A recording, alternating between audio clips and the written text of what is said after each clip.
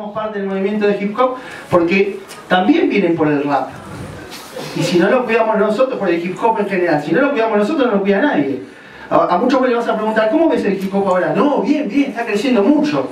Las marcas invierten, las revistas.